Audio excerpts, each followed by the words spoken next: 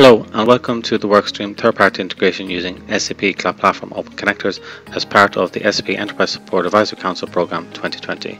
My name is Robert Kelly and I am the integration lead within SAP Enterprise Support.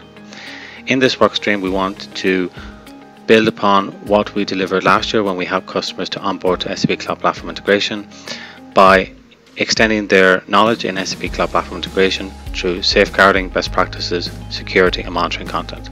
In the second instance, we want to help customers accelerate third-party connectivity by building particular integration scenario using SAP Cloud Platform Integration and SAP Cloud Platform Open Connectors.